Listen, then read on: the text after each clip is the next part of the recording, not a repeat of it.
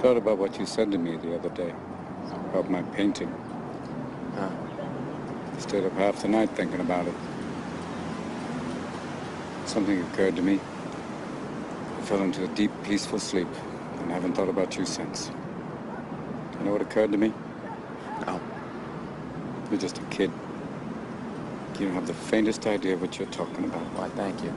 It's all right. You've never been out of Boston.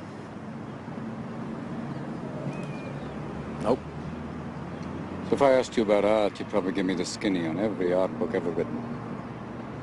Michelangelo. Know a lot about him. Life's work, political aspirations, him and the Pope, sexual orientation, the whole works, right? I bet you can't tell me what it smells like in the Sistine Chapel. You've never actually stood there and looked up at that beautiful ceiling. Seen that. If I ask you about women, you'd probably give me a syllabus of your personal favorites. You may have even been laid a few times.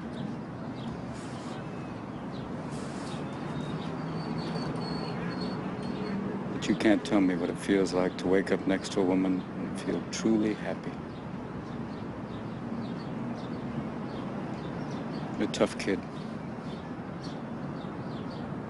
Ask you about war, you probably uh, throw Shakespeare at me, right? Once more into the breach, dear friends. But you've never been near one. You've never held your best friend's head in your lap and watch him gasp his last breath looking to you for help. I ask you about love, you probably quote me a sonnet. But you've never looked at a woman and been totally vulnerable. Known someone that could level you with her eyes.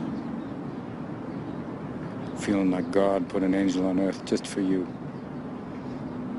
Who could rescue you from the depths of hell.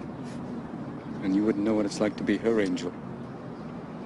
To have that love for her be there forever. Through anything. Through cancer. And you would know about sleeping sitting up in a hospital room for two months, holding her hand, because the doctors could see in your eyes that the terms visiting hours don't apply to you. You don't know about real loss, because that only occurs when you love something more than you love yourself. I doubt you've ever dared to love anybody that much. I look at you, I don't see an intelligent, confident man. I see a cocky, scared, shitless kid. But you're a genius, Will. No one denies that.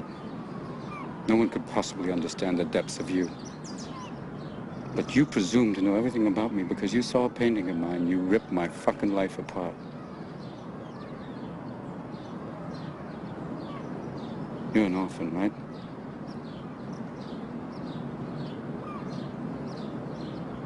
Do you think I'd know the first thing about how hard your life has been? How you feel? Who you are? Because I read Oliver Twist? Does that encapsulate you?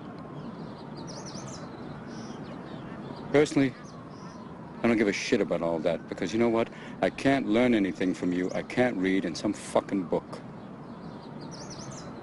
Unless you want to talk about you, who you are. Then I'm fascinated. I'm in.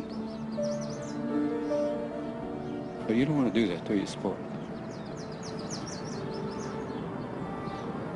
You're terrified of what you might say.